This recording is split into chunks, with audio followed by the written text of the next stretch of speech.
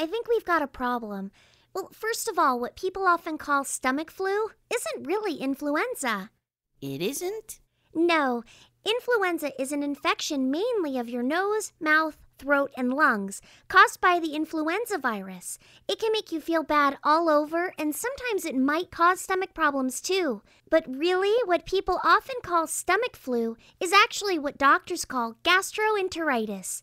That's because it's an infection of the gastrointestinal or GI system.